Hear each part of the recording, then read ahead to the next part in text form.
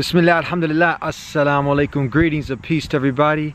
Hope you all are doing well. I'm going to touch upon a few things in this video I think are very, very important. One, I'm going to talk about the judo match that happened the Olympics between the Egyptian and the Israeli. And from there, I'm going to talk about a disturbing, a very disturbing post that came after this, shortly after this. All that and more in this video. Keeping it real, real's how we keep it. Get ready for Eddie. Sit back and beat this. show. All right, let's get right into it. The judo match at the Olympics and what happens. The Egyptian fighter loses, refuses to ha- shake the hands. And my opinion is, is he should have shook his hand. He should have shook his hand. But then what I was thinking deeper, you know, you flick what you, you know, you usually you, you want to think like what. I'm not going to get into the to what what really was his intention, what it what it was. But I was just, you know, this is just for conversation. I was thinking that if I was to ask an, an Israeli Jew who's uh, who's been on my program, a friend of mine, Miko Peled, whose father was a general in the Israeli army, his family was part of signing of the Declaration of Independence. Really, a um, a person of, of high standing there. He'd probably tell me that it had it, would probably had something to do. I'm guessing with the oppression of the Palestinian people, the aggression, the apartheid state, protesting this of, of Israel. That that's what what I'm guessing. And probably Rabbi Weiss, who's been on the Deen Show, who's been on my program, he'd probably tell me the same thing. Now, do I agree with him not shaking hands? No, he should have shook his hand. I think uh, that's that's what I would have done. This is what I would have advocated for any of of, of, of my uh, my black bills competing and I would have took. It, it, reminds me of the the verse in the Quran, chapter forty-one, thirty-four, where God Almighty is saying that uh, good and evil are not the same. Repel evil with what is better, and then the one whom you had might have had enmity with would become a, a friend. Okay, so we got that out of the way. I, my opinion, what I, uh, he should have shook his hand. Let's move on from there. Now, the more alarming and disturbing thing was some of the comments that came after that and a particular post that really was something just hate filled, derogatory, bigoted, and it was from someone in particular in the martial arts community, the Brazilian Jiu Jitsu community, and I wanted to, to speak out instead of just being a silent voice. I wanted to be a loud voice because if, if, if the people if we, when we see this hate, we don't speak out against it, hate breeds hate. And no matter if you're a small leader, a big leader, you're a leader. And especially someone who's involved in martial arts, you're helping to groom future generations to be men of character, not just learning how to fight, uh, uh, learning the art, but also learning how to be a better human being. You need to be a good example. And this is totally opposite to that. So you guys are probably like, what's the post? What's this all about? Now before I get to that, something very interesting. Everything happens for a reason. Another thing that motivated me was that this individual in the community, in the Jiu-Jitsu community, this person actually fought against one of my black belts. Isn't that ironic? Uh, Professor Idris, my cousin also, they competed. Let's go to this match.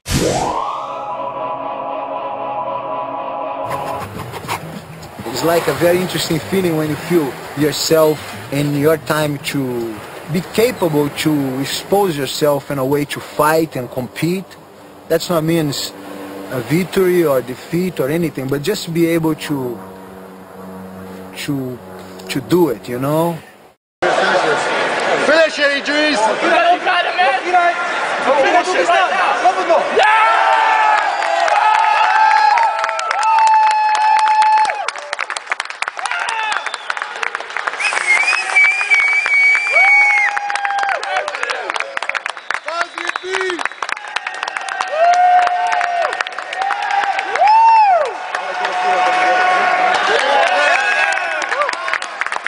So when I learned about that, that they actually competed, they fought, and actually at the end, as you could see, that my black belt Idris, he shook his hand.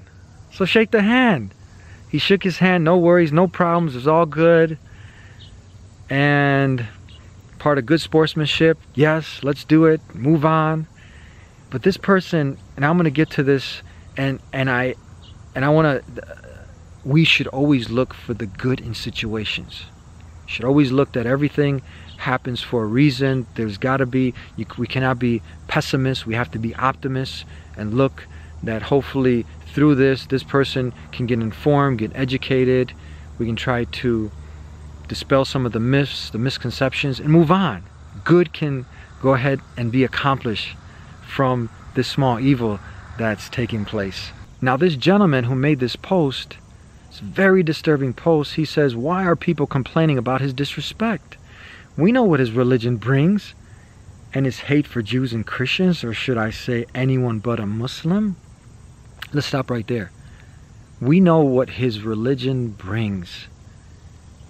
I mean, this is very disturbing. I mean, to go and insult over 1.7 billion human beings all across the globe, and especially, you know, if you think about the United Arab Emirates, Abu Dhabi was started there. How many of the Gracies have great relationship with the Muslims there in that country?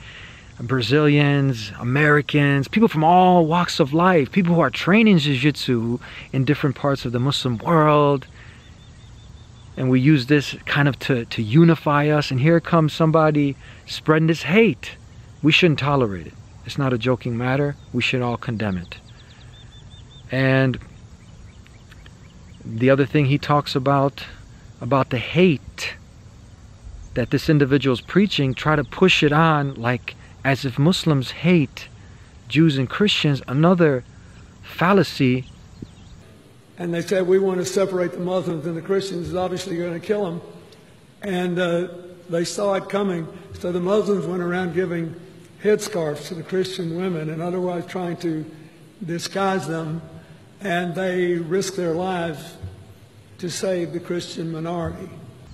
Some propaganda that I, I, I really feel bad and sorry for people like this who have fell victim to this. You know, the Islamophobia machine, we know that it's, uh, it's, a, it's a $200 million bi annual business. It's, it's money bashing Islam, bashing Muslims, and this person's fell victim to it. But the question is, how long is he going to remain a victim? Especially after he sees this. He can grow from this or continue to remain ignorant. So let's start with the first part. We know what his religion brings. I mean, I, I've you see this individual wearing a Muhammad Ali's t-shirt. Let's start with that. What did it bring for the American hero, the Muslim American hero, who a quarter of a million people were affected by his charity? He went and helped those American hostages get released.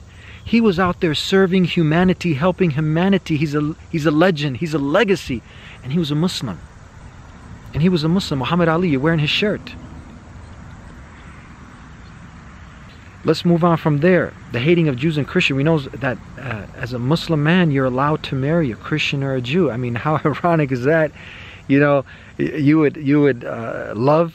It'd be a really a love-hate relationship. Can you imagine uh, if, if this if this was true, or you you'd have to hate the one you love, your your wife? This would be uh, something uh, impossible to do, and it's crazy, and it's not a joking matter. But you do have this ignorant that's prevalent misinformation and we know that during the inquisitions and many uh, Jewish academics will come out historians they know that Jews fled from persecution to Muslim lands and so did Christians.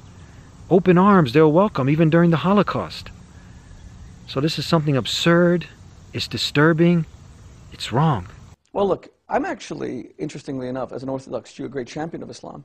The fact is that the Jewish community has a real debt to the Islamic community because when we were kicked out of Catholic Spain in 1492, when we were kicked out of Catholic Portugal, I think in 1503, it was the Muslims who took the Jews in. That's why there are Jewish communities in the Islamic world till this very day. The Islamic community, the Jewish community of Istanbul dates from then. Um, it, was, it was specifically um, countries uh, not beyond the Ottoman Empire where Jews were tolerated uh, and they were welcomed in. And they, they, paid, they paid a jizya, there was a poll tax they paid, but they were never persecuted and there wasn't a Holocaust in the Islamic world. The fact is that Jews and Muslims have so much in common. I'd been out to a supper club with uh, Maria Parsheva, my girlfriend. It's a Friday night in New York City around 11:30. Uh, we boarded the train on Canal Street on the last car in the queue. It happened aboard the Q train at 11:30 on Friday night. Walter and three of his friends were heading home after a Hanukkah party in Manhattan when he turned to another group of riders and said, Happy Hanukkah. Like, Happy Hanukkah, my friends. Like, something to that effect. And almost immediately, you see the look in this guy's face. You killed him. You killed Jesus. You killed him on Hanukkah. You dirty Jew. You effing Jew. When Hassan Askari, another passenger, tried to help, he was beaten up too. Hassan's the only person to try and help us at all. Everybody runs to the back of the car. It was pretty shocking to see something like that happening. You know, usually don't expect something like that to go on in the train. Here we have freedom of speech and freedom of religion, and what I've seen this Friday night is just uh, put my spirits down. That guy, Hassan, my girlfriend and me and my best friend might have been beaten to death on that train if he hadn't jumped in and helped us. And in Islam, it teaches you to be, you know, helpful to your fellow man, to be kind, courteous. No one else helped us except Hassan. No one else on the train. A Muslim American saved us when our own people were on the train and didn't do anything, and when everyone else's people were on the train do anything. Someone who in the media often gets painted as the enemy of Israel and the Jews. You know, this is a Bangladeshi Sunni Muslim. This is someone that jumped in, he knew we were Jews to help us. Hopefully, this will reach a lot of people and it will change the way people view each other. It will change the way people act toward one another. He goes on to say that Muslims kill innocents through suicide bombing and terrorism. Let, let, let's, let's move on from there. We're going to see what the experts have to say. We're going to see what the statistics are. You know that the FBI statistics report that 95% of terrorist attacks from these years were done by non-Muslims. Did you know that over a thousand terrorist attacks in the last five years and less than 2% of those were done by Muslims? And I even get hesitant to, to say, I get weary when you say by Muslims because we know when we look at, you know, some of these recent events that have happened, if these people were following Islam, they wouldn't be doing such attacks because there's a profound statement in the Quran. And even before I get to this statement, we, we see that a Muslim is not supposed to be in a nightclub, own a nightclub, smoking dope, smoking the ganja, drinking, doing all of these these things that are opposite to Islam. And you find these people who've done such acts, the small fringe element that the media portrays like they're exemplary Muslims, if they were implementing Islam, they wouldn't be in a nightclub, they wouldn't be smoking drugs, doing drugs, drinking, partying, doing all of these things, uh, hurting innocent people. This is totally uh, the antithesis to Islam. It's, it's very clear, and there's a. I want you to remember this this verse, chapter five, verse thirty-two in the Quran. There's no constitution like it. There's no scripture like it anywhere in the world. It says killing one innocent human being is as if you kill the world. Saving one innocent life is as if you saved the world.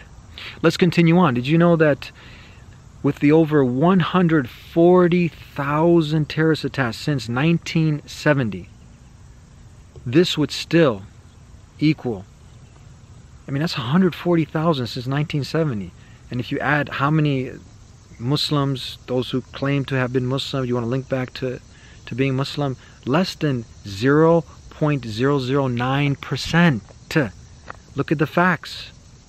Don't follow the fiction.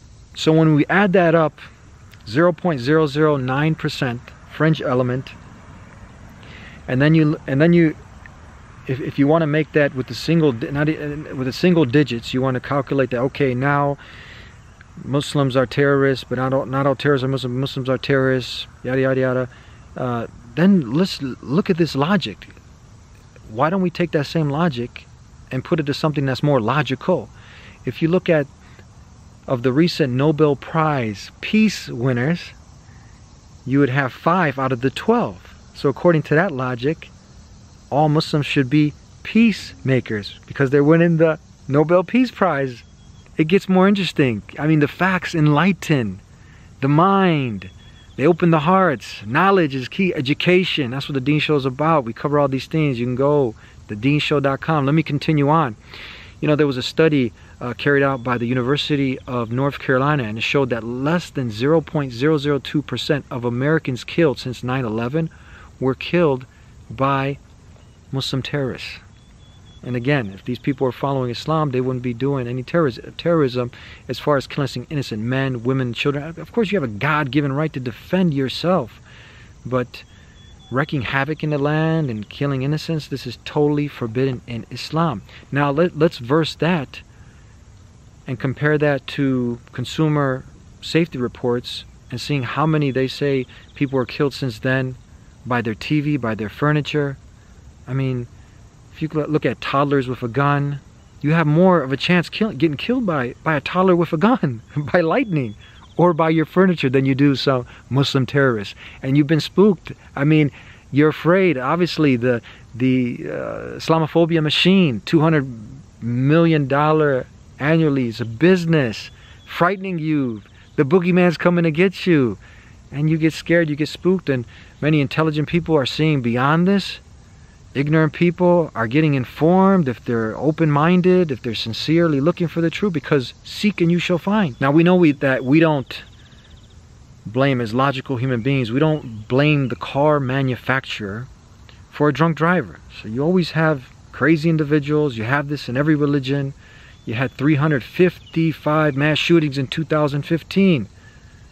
You had three of those that were, again, connected back to someone being of Muslim background, but you didn't hear the person's faith being mentioned, his ideology. Usually it's like, okay, is this guy sick, deranged, what's going on? And you, when you dig deep into these people's lives that have done these things that you claim were Muslim, you see that they had some really psychological problems. Sociopaths, sick, deranged, it's evil acts. And Islam condemns it, we condemn it. The common mantra is why don't Muslims condemn it? We don't have the platform nor the mic. We don't own the Fox News, my friend. Now, again, we're analyzing, looking at his really disturbing, hate filled, bigoted post, dismantling it one by one, using logic, reasoning, facts, not fiction.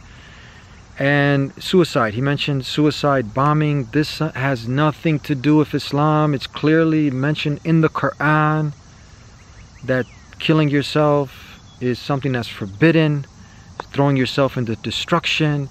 And this is something, a consensus among the scholars, Muslim scholars, that suicide is something that is forbidden. So there's no suicide in Islam.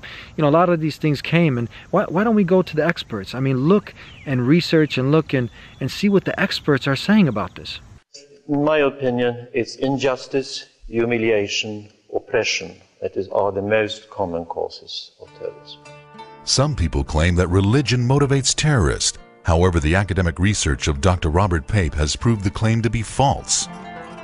Uh, what I did is I collected the first complete database of every suicide terrorist attack around the world since 1980. Uh, the first version of this database uh, uh was uh, uh, published a few years ago and it went from 1980 to 2003. Think of that as like the pre-Iraq database. And then the second version from 2004 uh, on, think of that as the data that's happened since Iraq. Um, and what the data shows quite clearly is that uh, the principal cause of suicide terrorism is foreign occupation. In that period from 1980 to 2003, there were 315 completed suicide terrorist attacks by 462 suicide terrorists who actually killed themselves. I don't mean attempts. These are people who actually killed themselves. The world leader during that 24 year period was not an Islamic group at all. They're the Tamil Tigers in Sri Lanka. The Tamil Tigers are a Marxist group a secular group, a Hindu group. In fact, over half of those 462 suicide attackers were purely secular. Because you see, many uh, Muslim suicide terrorist groups are also pure, purely secular, such as the PKK in Turkey. The PKK in Turkey, which did uh, numerous suicide attacks in the 1990s, uh, is again a Marxist, read anti religious suicide terrorist group. Because you see, if Islam, as uh, sort of a radical religion, or if it were just radical Muslims, uh, doing this, then what you would expect is sort of this thin veneer of suicide attack kind of scattered all around the world. Uh, you would expect that, oh, there's 1.4 billion Muslims. You know, there's this teeny tiny fringe of Muslims kind of everywhere who'd be willing to do suicide attack. Uh, but that's not the way the data looks. It's really concentrated, and it's really concentrated in occupations and uh, you go to these people i mean not to fox news you know that's what causes radical when you self-educate and you're reading the headlines and you know snippet here snippet there and then you create a self-fulfilling prophecy in your head. You know you're coming at the quran looking at things out of context. You're getting your information from islamophobes. You become islamophobe. You become a radical. You start radicalizing your students. I mean this needs to stop. You we you know we hope that the individual grows out of this. We dispel we we dismantle dismantling this one by one. We got one more to go. He talked about that Muslim men they behead their wives. How ridiculous! I mean, God, I, I, it's just really absurd. If a man was to do that, to to behead his wife, he the Islamic court would put him to death. He'd be executed. I mean, so that's done with that. What else do we have that he talks about? He said he didn't shake his Jew's hand. Duh. Complain about the real problem: his religion and his leaders. Okay, so we take it back. It's a very nice shirt that the Mr. Uh, the, the guy is wearing Muhammad Ali. I like to use this example because this is an exemplary Muslim. And there are a lot of those. He's someone that was living Islam, personified Islam through his actions. You're wearing his shirt, my friend. He was an American Muslim hero.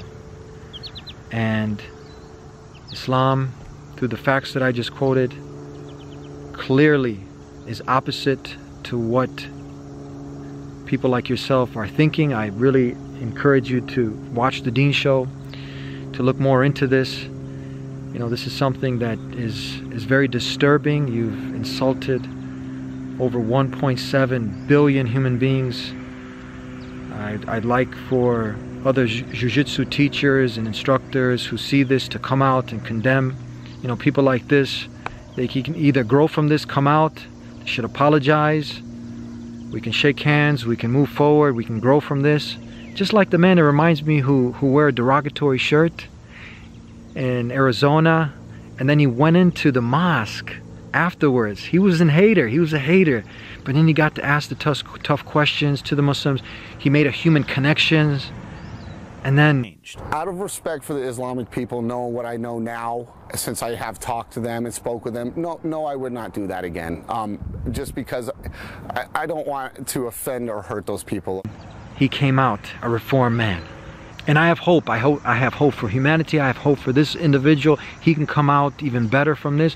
Or, I mean, sadly, I hope he doesn't remain in that hole of ignorance because he's only going to bring disaster. He's only he's only going to hurt himself, his heart, his his humanity, and, and for those people who are under him. But let, let me finish off with this. I mean, you do have issues. I mean, what can be the cause? I mean, we have to get to the root of the problem and then do some self-evaluation and we've dispelled this myth about Islam, you know, someone picking up the Quran and because they did that, you know, now they're suicide bombers, they're terrorists. No, I, I just gave you the facts, rewind it, see it again, look at it again. It's very clear. But if we look at, for instance, just let's let's you let's listen, um, let's see Iraq for a second. Let's look to that, the 13 years of sanctions. You know, the death of one million children over the course of 13 years. Imagine you've had innocent, I mean innocent life. They're here, it's, it's all the same. It's innocent life. You had two in 2003 an invasion based on false premises, on lies. Do you remember that? And then conservative, I mean low numbers to estimate 170,000 innocent people had died from this, this war. You know, the reliable source, The Lancet, puts it at over 760,000 innocent human beings. You know, you go into a country, you exploit its resources, flip it upside down, turn it into a ghetto. Imagine if that happened here in America. How many terrorists would have that had created? You know, there was a headline in a popular newspaper, The Onion, says, new bomb able to create a thousand new terrorists with one blast. When these bombs are dropped in someone's backyard, at someone's wedding, drone attacks, all these things that, um, imagine if it was happening here you know these people they they end up losing themselves. You know you get your whole family destroyed. Again islam doesn't condone it. Islam condemns killing of innocent men women and children. You don't reciprocate this kind of evil with evil. As i quoted the the verse and there's so much self-reflection that we need to do. And to see that warmongering this war machine this is not bringing about any good right and this is the root of the cause of the problem. And you hear a lot about this ISIS, Daesh. You know, these people are killing more Muslims. Did you know that? They're killing more Muslims. You just had this event in Pakistan. Where's the, the pray for Pakistan? In seven, in 70 innocent people had died. It seems like Muslim blood is cheap. And remember, a Muslim is simply one who, who submits to the will of God. You know, what is Islam brought? It's, it's brought that individual to have peace with his creator, peace within himself, peace with humanity and society. And a person who has peace in himself, he's not expounding this hate rhetoric. And, and it goes down to a, a deeper problem within oneself that people have when they're full of this hate. They're, they're taught this hate. They end up breeding more hate. And we, that's where we have to, as a community, shut this, this hate rhetoric down. We have to condemn this Again, insulting over 1.7 billion human beings all across the world. You can't separate the two. When you say F Sharia, it's like saying F the Bible, F. When you insult, you, you want to get to know someone, you come in and you assault his mother. I mean, what? That's not the whole essence of freedom of speech, my friends. You know, the the founding forefathers of this country did, didn't make freedom of speech based on those premises. And you insult this way of life that brings peace to to so many people's hearts. I mean, you know, part of Islam is the deep love and reverence for Jesus, peace be upon him, and his blessed mother Mary. There's a whole chapter named after her in the Quran. If you got to know this, I mean, you would see that there is so many more commonalities. There's so many more commonalities between Muslims and Jews and Christians. And people, the good in humans have forced them to, to look beyond this hate and have investigated and see this. And, and and what kind of people accept Islam. Women, particularly, why would they accept Islam if, if it was preaching these these evil things? But no, they see the opposite. What what's the difference? Is that they've investigated, they've looked into it, they've taken a, a analytical, scientific approach, and they've seen like, hold on, man, we've been fed fairy tales, fiction, false propaganda. And, and many people, we see that Islam is the fastest growing, second largest religion in the world. It's not going anywhere. Christians aren't going anywhere, so we need to learn to work together to make society, to make the world a better place, and to teach our students and those under us. You know, you have, I often give the example of Miyagi, the Karate Kid, when he was teaching his student Daniel San, not just fighting, but some principles for life. And then you had Cobra Kai. You want to be Cobra Kai, you want to be Miyagi, my friend. You want to be somebody who's spreading hate or love, understanding you got to pick a side and if you continue to stay on that side you'll just bring more destruction upon your heart your soul your soul. You'll be a, a person who will just be angry and bitter and you'll lose so many opportunities to make more connections with more human beings to develop more understanding and to live a more fruitful and well-balanced life. So i hope that one day i can meet people like this who've had a change of heart. I, my door is open to come and sit and we can discuss these matter, matters like two intelligent human beings, not insulting one another. Again, you don't get to making a human connection by insulting someone's someone's mother, someone's father, someone's family. But this is something that's even more dear to us is this way of life from the creator. Islam, submission to the will of God, submission to the creator, not the creation.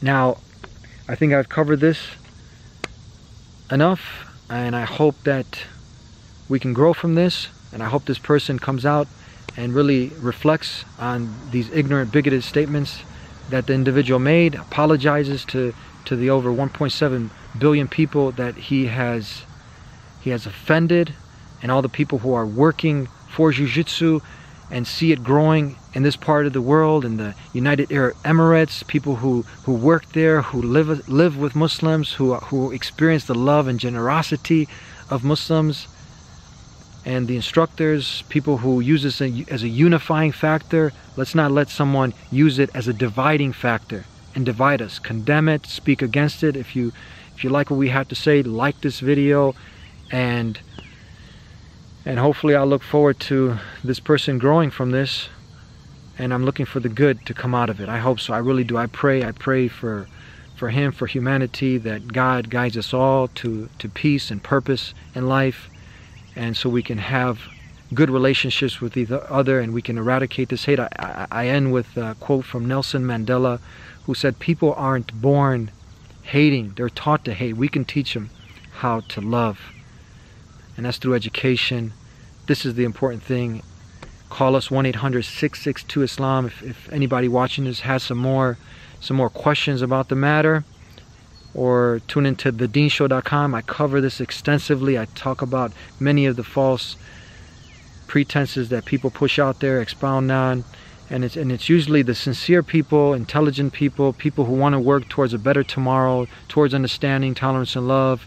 You know, who are open-minded, and and your mind cannot work, as the common saying goes, unless it's open, like a parachute, like a parachute. And ignorance is a poison. It kills love and friendship.